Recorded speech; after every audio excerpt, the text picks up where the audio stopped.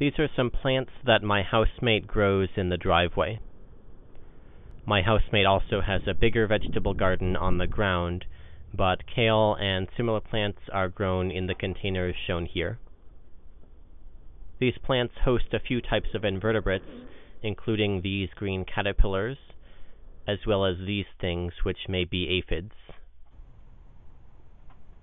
This footage was filmed on 18 October 2016 at my house near Albany, New York, USA, at the end of the growing season.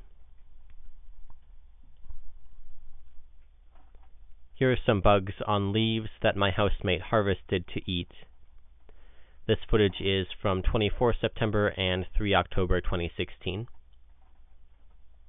I try to inspect these leaves because they often contain bugs, and I don't want the bugs to be painfully chewed up or heated to death. It's possible that I miss a bug here or there, so as a precautionary measure, another option is to freeze the leaves for a while, since, while it's not known if freezing is a humane way to kill bugs, I would guess it's better than being eaten alive or heated to death. The rest of this video shows further footage of bugs on the plants outside and on the leaves that my housemate harvested.